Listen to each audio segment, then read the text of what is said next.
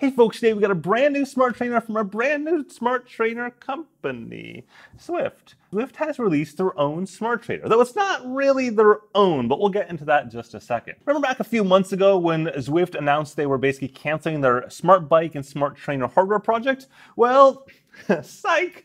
It's here now. Except it's actually not the same project as that. Uh, that was a Zwift Ride, Zwift Hub, a totally like integrated smart bikey sort of thing. Uh, versus this is just a smart trainer and designed to be a smart trainer that is incredibly affordable despite being top end spec, or at least high mid specs. Now I've been using this for a few weeks and this trainer is the Zwift Hub, but in reality it's the JetBlack Volt. That's a smart trainer I reviewed about a year ago. You can find a video post or something like that up there on that. And I gave it a great score. Great, I don't have scores, but I gave it a great review. It was an awesome trainer for the money. Uh, it was priced to 850 bucks. It included a cassette.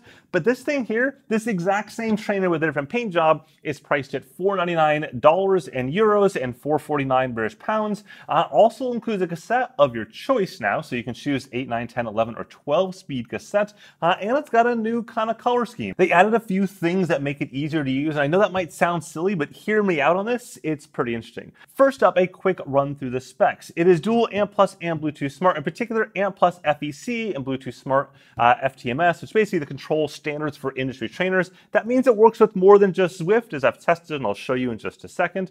Uh, second, the flywheel weight is at 4.7 kilograms, and however many pounds that is on the screen right there.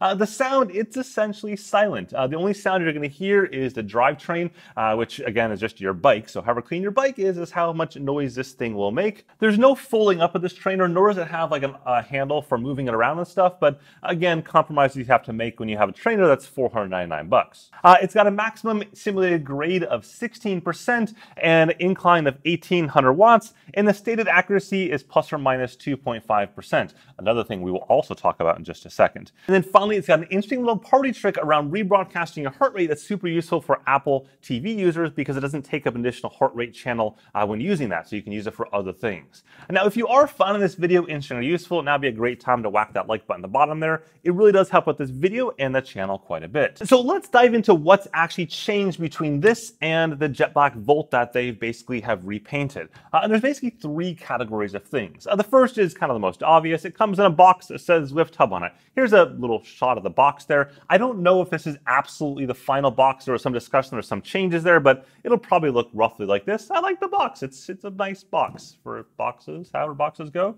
Uh, second, they've done obviously a repainting of it, if you will, uh, and added some kind of graphics on there. And this may sound silly at first, but what you notice if you look closely, there's this blue section here and this orange section here.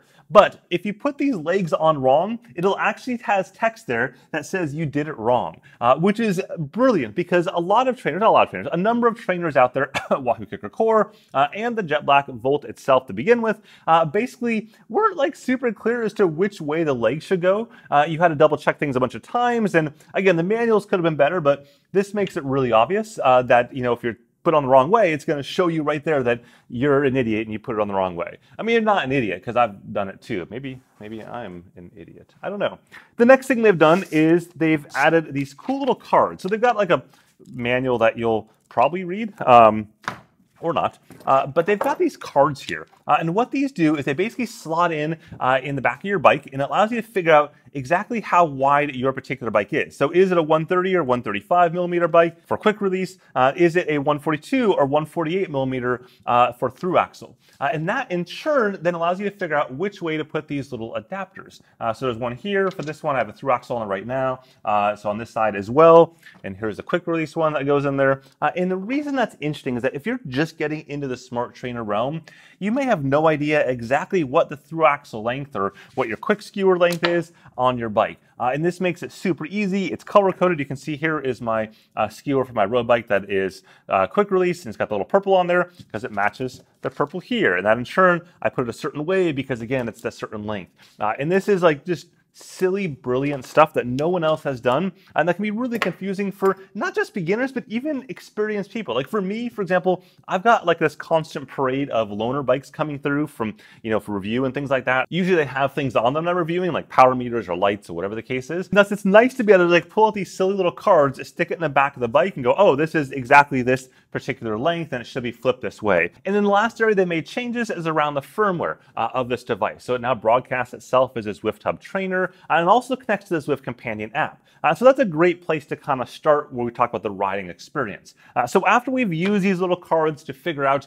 uh, our, you know, adapters and whatnot, we're going to throw our bike on there. We're going to plug it in. It's got a status light that's right here that I'm showing you right now on the screen. Uh, and then we go ahead and open up his Zwift companion app. Uh, within that, it'll see the trainer on the new hardware tab in the bottom there, uh, and I can update the firmware, and I can also do the heart rate pass-through. and the idea behind the heart rate pass-through is that if you have a heart rate strap on and you want to pair that with an Apple TV, but you also want to do steering, then you're out of connections because Apple TV only allows two concurrent connections uh, on Bluetooth Smart plus the Apple TV remote. So what they do is they take that heart rate connection and pair it to the trainer instead, and then they funnel that data from the trainer up to Zwift as one channel. So you got your power, your cadence, your control of the trainer, and your heart rate under one channel leaving you one extra channel for steering. Uh, notable also because JetBlack actually has a little steering block. There's also one from Elite, and there's probably others as well. Next, at this point, you'll crack open Zwift, assuming you're using Zwift, and you'll pair it up just like any other trainer. So you'll pair it up uh, using Bluetooth FTMS if on a Bluetooth device or ANT Plus FEC. Uh, all that's the same.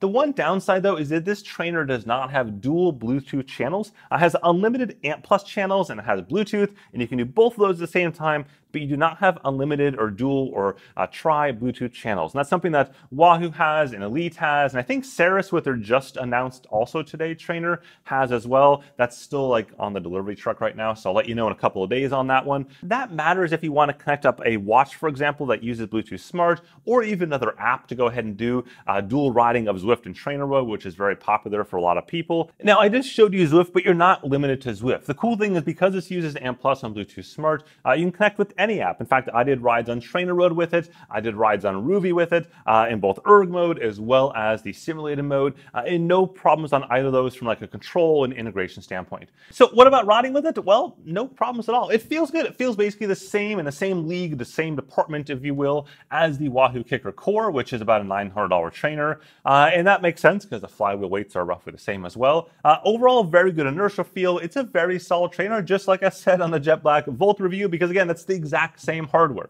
Zwift has confirmed it's the same hardware. Uh, nothing has changed there except you know coloring the little bits on the side and the trainer and stuff like that uh, from a hardware standpoint. So I am very happy with the road feel. It's a very solid trainer. Uh, good stuff there. What about noise? Well, it's quiet. As I mentioned earlier, it doesn't make any meaningful amount of sound. Uh, and the only sound you're going to get is from your drivetrain, basically the chain on this cassette right here. And that's mostly based on how clean uh, your chain is and your drivetrain is, uh, more than this particular trainer.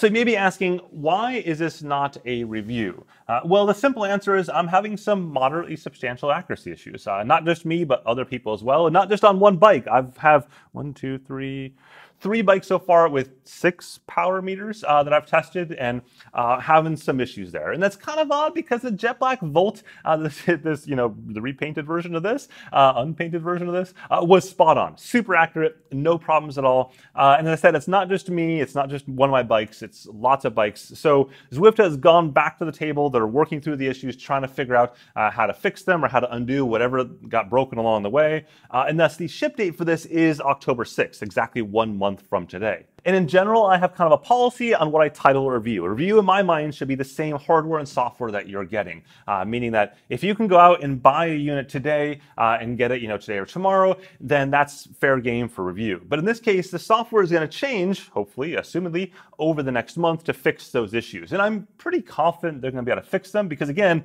it was working just fine, and now it's not. And that's purely a software thing. Point being, I'll be doing a full, legit, in-depth review of this trainer uh, once it's available available to buy and to purchase, uh, and basically close to that date where it's on the final firmware. But you know what is available to buy and purchase today? This nifty trainer and chill mug down the merch store down there. It's fully compatible with all beverage types, so no issues there. It's also fully accurate. It holds what it says it's gonna hold every single time, which seems like an important thing. Now, as far as this trainer goes uh, and what it's going to have an impact on the industry, it's going to be pretty substantial. 499 is an incredible deal for this, especially including a cassette. We've never seen a smart trainer, uh, a direct drive smart trainer that low, including a cassette, or that low without a cassette. Doesn't matter. It's the best deal uh, out there, at least retail pricing. We've seen some McLaren stuff recently, like with the Saris H3, great smart trainer, a little bit louder though. Uh, but again, this price point, it's going to have some pretty significant ramifications across the industry. And the thing is, this trainer is really designed not to make money, not on the hardware. It's designed to go ahead and make money on Zwift subscription services. They hope that you buy it and then use Zwift as a platform. Right now, there's no like forced tie in there from what I can see. Uh, and Zwift in the past has promised that any hardware they make will be open standard and all that goodness. So hopefully that continues forward here as well. But this will undoubtedly cause a lot of trainer companies a fair bit of heartache. Take, for example, something like the Tacx Flux series. That's like, you know, three to 400 bucks more than this. There's no reason to buy that trainer for three to 100, 400 bucks more than this. Just simply isn't. You could make the argument for something like the Wahoo KICKR Core, again, three to 400 bucks more than this, because that has the Wahoo KICKR Climb compatibility. But then you start to argue like, is that worth that much extra? You're gonna pay an extra 400 bucks for the KICKR Core, plus an extra six or 700 bucks for the Climb. Uh, that's a lot of extra cash just to go up and down. So that's something that, again, I think this will have pretty significant ramifications across the industry, and I'm interested to see how the rest of the industry reacts, uh, both from a pricing standpoint, but also just like from a hey Zwift, I thought you weren't going to make hardware standpoint. Anyways, we will see. Uh, it's going to be an interesting fall for sure. With that, thanks for watching. If you found this video interesting, useful, whack that like button at the bottom there, or hit subscribe for plenty more sports technology goodness. I promise you, the next 14 days, give or take, are the craziest ever on this channel. Without question, they'll be the biggest, busiest, all the things over the next two weeks. It's absolutely, positively bonkers. With that, have a good one.